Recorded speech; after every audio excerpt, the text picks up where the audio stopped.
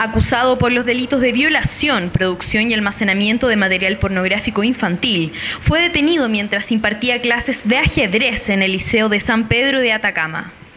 El agresor de 51 años de edad fue capturado gracias al trabajo de la Brigada de Cibercrimen, la Fiscalía y el Juzgado de Policía Local. En primera instancia se decreta la orden de detención a través de la investigación realizada por nosotros por la producción y almacenamiento de material pornográfico infantil. Sin embargo, en el análisis forense informático eh, logramos establecer el abuso sexual y la violación, el acceso carnal a la menor eh, ya individualizada por la Fiscalía. El sujeto mantenía en su computador registros en video que graficaban algunos de sus abusos.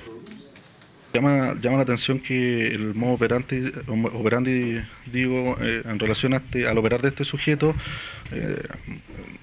básicamente es por cuanto él ah, usa la seducción de a través de las madres para poder darle, eh, darles techo, eh, prestarle una ayuda económica, eh, quedando las menores de edad desvalidas y mientras las madres salen a trabajar y ahí donde atacaba este sujeto, llevándolas a la pieza habitación y logrando hacer secuencias fotográficas y videos desde el momento que estaban con ropa hasta la violación misma. La denuncia que hice relación con la violación de una de sus hijas biológicas, en un periodo de, los 7 a los 9 años.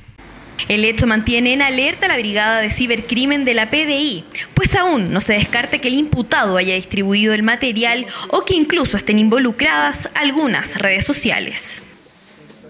Esto es materia, bueno, la investigación sigue, nosotros hemos determinado eh, en la ciudad de Calama la producción, almacenamiento, abuso sexual y violación. Sin embargo, el análisis completo de la evidencia será posteriormente en el laboratorio del cibercrimen a fin de determinar si hay cuentas de correo social, si hay distribución, si hay redes, de, redes sociales involucradas en la distribución de este material. Sin embargo, es uno de los casos más relevantes a nivel de investigación de explotación sexual y abuso a través de Internet, eh, en este, por lo menos en esta ciudad y en lo que resta del país. Los computadores y dispositivos de almacenamiento incautados están siendo analizados por expertos de la Policía Civil.